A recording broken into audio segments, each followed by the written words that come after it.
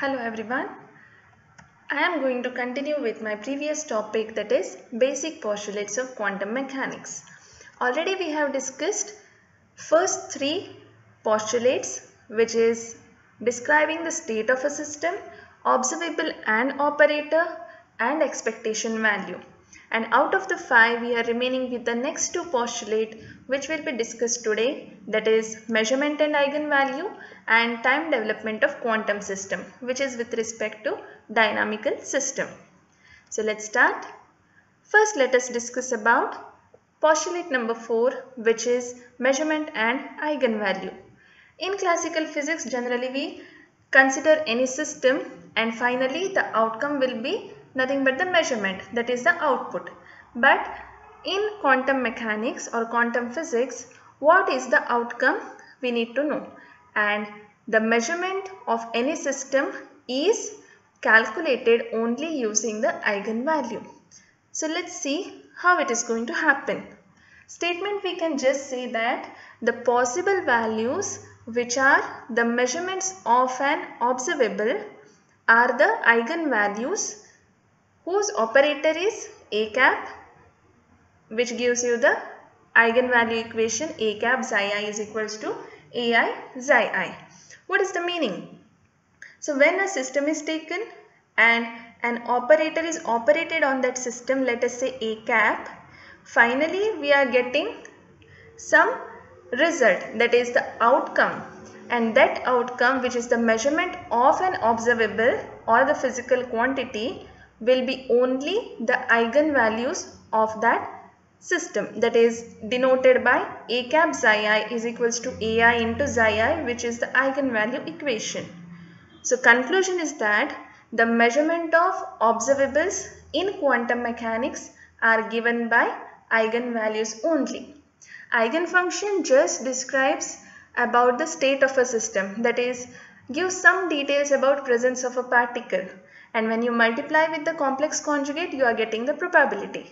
But any observable cannot be measured by the eigenfunction because we know the eigenfunction is a complex valued but measurements are always going to be real and we already know these eigenvalues are going to be real and that's why they are the measurements of observables in case of quantum mechanics.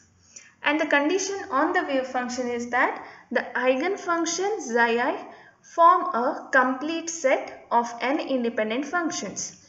So there is a completeness condition which this eigenfunction has to satisfy which will be again derived and discussed in coming classes. So this is some detail about measurement and eigenvalue.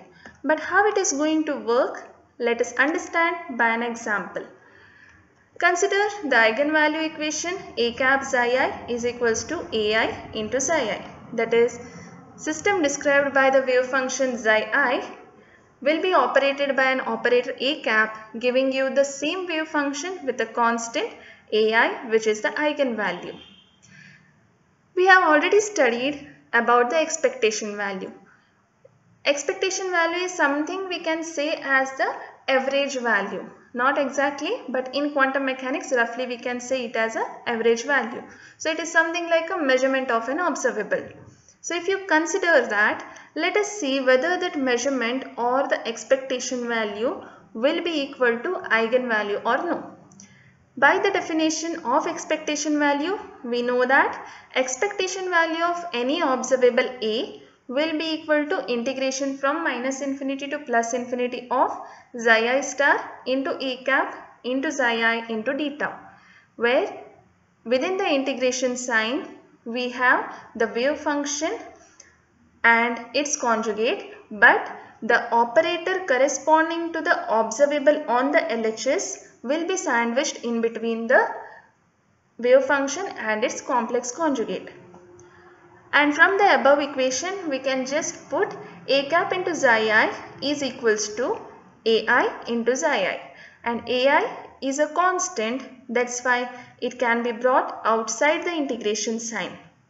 Then we have ai is equals ai into integration from minus infinity to plus infinity of xi i star into xi i into d tau.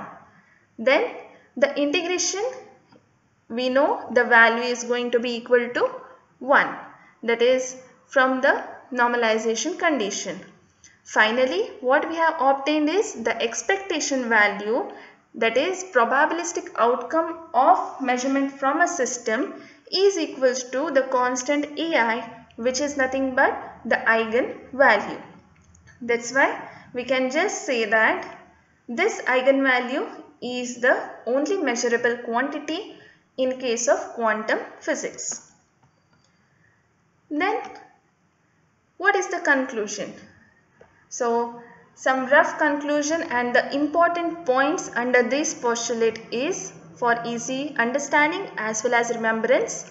First, eigenvalues, we know that these are only experimentally measured quantity because it is real always. We, we have already derived this. Eigenvalues are going to be always real. Then when they are going to be real, eigenvalues of Hermitian operator are always real. This is the main property of Hermitian operator which we know. And if you consider all these three statements, all the three are with respect to eigenvalues which says that one it is the experimentally measurable quantity. Second point is it is going to be always real and third point that it has to be real means the operator should be Hermitian. So finally we can conclude that the operators associated with the physical quantities must be Hermitian. So the operators should be Hermitian and the corresponding eigenvalues will be always real which are measurable. So this is the conclusion which we can draw out of postulate number 4. Next we are going to study something related to probability amplitude. Let us consider the wave function phi which is given as summation over i ci xi i. So while explaining about the principle of superposition I had explained that a wave function can be written as combination of different wave functions. That is it allows us to analyze a complicated wave motion as a combination of a number of simple harmonic motions.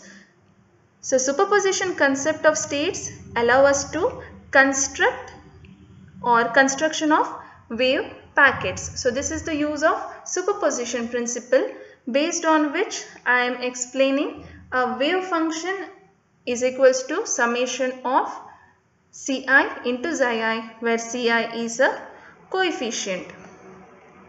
Then what is this Ci?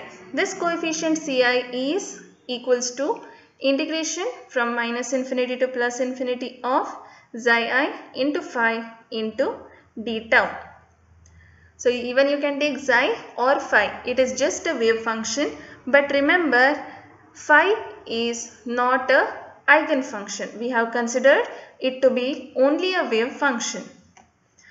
In order to find out the outcome, let us consider the expectation value of operator of observable A.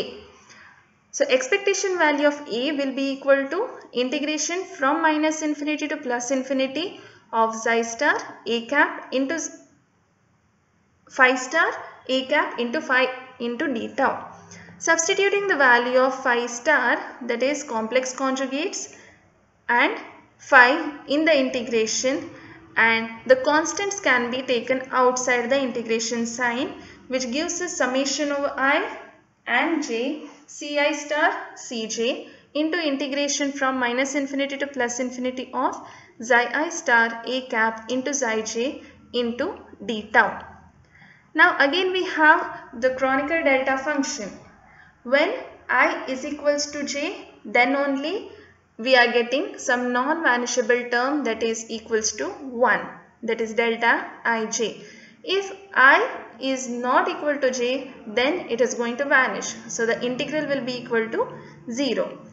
So here I am considering i is equals to j. So we get summation over i ci star ci into integration from minus infinity to plus infinity xi star a cap xi i into d. And whatever we have considered previously is that the eigenvalue function, eigenvalue equation a cap xi i is equals to ai into xi i. The same thing I have substituted here and we can observe that we get the expectation value of A is equals to summation over I mod of Ci whole square into Ai into integration from minus infinity to plus infinity xi star into xi into d tau where the integration will be becoming equal to 1. That's why we are remaining only with the mod function and ai where ai is the eigenvalue. So I am considering this square of mod of Ci is equals to Wi or you can say omega i. And what is this omega i is equals to? It just tells the probability of occurrence of eigenvalue ai in measuring the observable a. So here based on this we can understand the probability of eigenvalue occurrence when you are measuring the observable let us say momentum, position, energy, Hamiltonian etc. This we have already derived where probability will be equal to a1 square um, that is mod of a1 square mod of a2 square while studying the principle of superposition.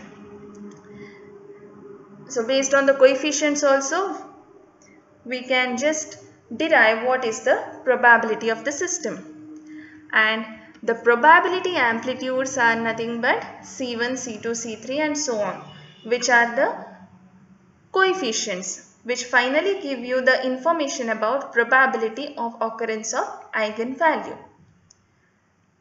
So this is the details about postulate number 4 which is totally depending on the measurements or outputs or outcomes and in quantum mechanics it is totally due to the eigenvalue. So whatever measurements are to be done can be understood or can be done only when we get the eigenvalue of that system.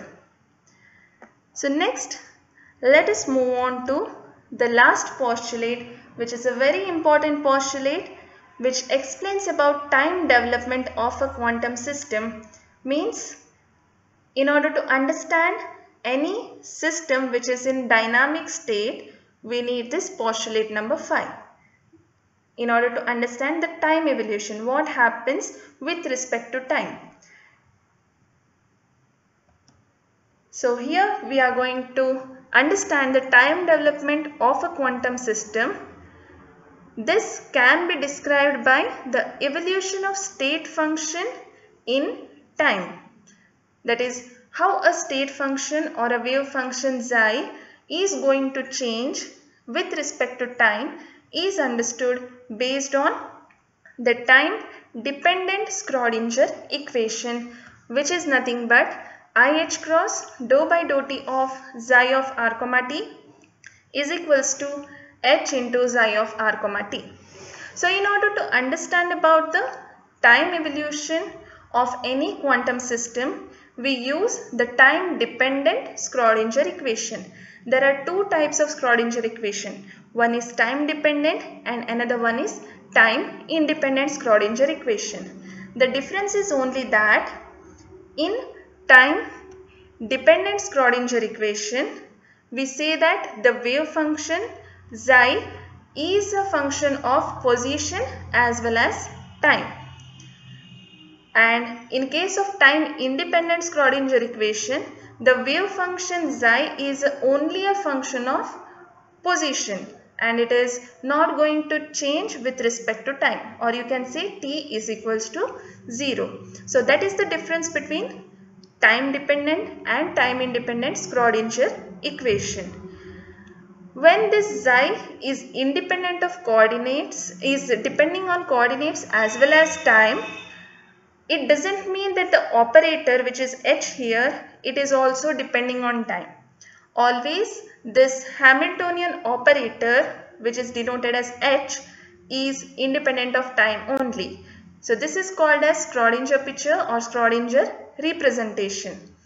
Only we need to remember is that time dependence or independence is only with respect to the wave function and not the operator.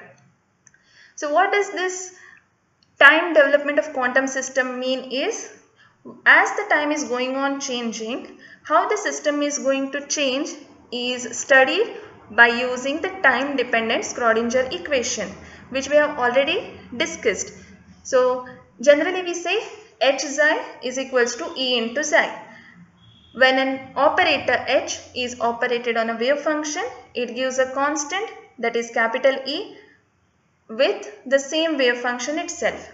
And the h which is the operator is nothing but the Hamiltonian operator and E is the energy eigenvalue. And here it is the same. Energy in terms of operator we have E cap is equals to I h cross dou by dou t. It is, it is again with the wave function xi of r comma t which is equals to h into xi of r comma t. h is nothing but Hamiltonian operator which again tells about the total energy of the system. So on the both the sides we can say we are having the energy terms itself with the wave function xi of r comma t. With respect to classical physics if you consider in classical physics we say with respect to time a system is going to change with respect to the Newton's laws of motion that is F is equals to ma is the equation of motion generally we consider in case of classical physics. But when we consider with respect to quantum physics, Schrodinger equation, which is the time dependent Schrodinger equation, is going to be considered like a equation of motion. So this is the main concept of postulate number 5 which completes the overview of all the five postulates starting from description of a system or state of a system which is given by psi. Then coming to the observable that is physical quantities and their corresponding operators in quantum physics. Then third is the probabilistic outcome of measurement which is given by the expectation value. Fourth one is the measurement or the outcome of the system in quantum physics will be with respect to eigenvalue. And finally, when the state is in dynamic state, then with respect to time, how we can describe a system that is using this time dependent Schrodinger equation which acts as an equation of motion is going to tell us the time evolution of a system. So this five or these five postulates are the foundation of quantum mechanics which is of greater importance. So just go through all of these. This is for today's session. Thank you.